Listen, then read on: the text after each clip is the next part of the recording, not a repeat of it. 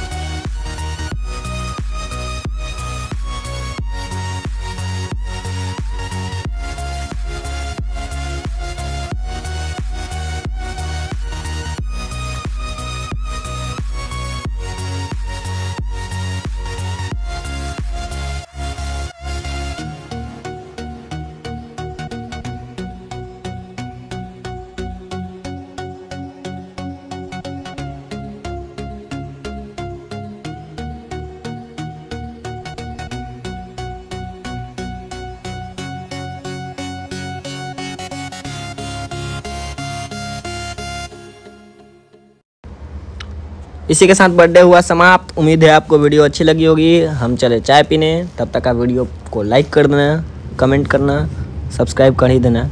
मन हो तो गुड नाइट बाय बाय